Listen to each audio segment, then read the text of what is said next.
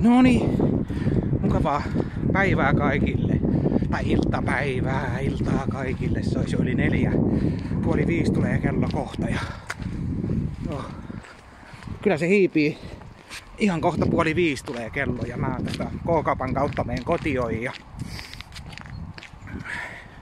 Mä nyt sain sitten taistelun jälkeen, kun se mennessä mennä ensiksi se koodi väärään liittymään, niin meinasin sählätä sen aluksi, sen laittamista, sen, niin kuin sen koodin laittamista, mutta mä sain sen koodin toimimaan ja sain ladattua puheaikaa sillä kympillä, mikä mulle eilen lahjoitettiin. Kiitos lahjoittaneelle toimintasetelistä. Tuli tarpeeseen, niin saatiin puheaikaa.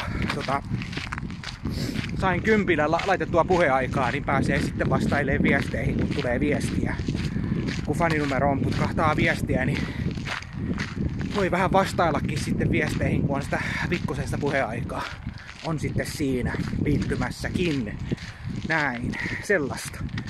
Mut joo, muuten päivä on mennyt ihan, ihan sillain kohtalaisesti ja pikkuinen viileys tässä ulkona on ja nyt mä laitan menen keittään, tai keitän iltakahvit ja tästä rauhoitun tälle päivälle, niin ei nyt eilinen Walking Dead-jakso, se ei, ei niin hyvä ollut, mitä, se, mitä ne kaksi aikaisemmin, tai se ollut se edellinen jakso, niin nyt ei ollut niin hyvä, nyt ei ollut niin hyvä, hyvä toi Walking Dead-jakso. Eilinen ei ollut niin hyvä. Toivottavasti viikon päästä on parempi. Mut joo, meikäläisellä ollut, ollut muuta kuin nyt kotiin. Ja katsotaan sitten siitä eteenpäin, mitä, mitä olisi vielä tälle päivälle luvassa. Jep, ei muuta kuin tsemppiä kaikille ja tää oli tää tiistai melkein tässä ja nyt pääsee sitten kotiin vähän rauhoittuun ja tällaista, kyllä näissä tehnytkin, ollutkin vasta kotosalla. En ole pitkään aikaan ollut sillä toisin kotioppäin lähtenyt siinä yhden jälkeen kotioppäin. Vasta neljän jälkeen kotioppäin. Mutta näin se vaan menee. Ei voi aina valita, koska sitä, koska sitä kotiin pääsee.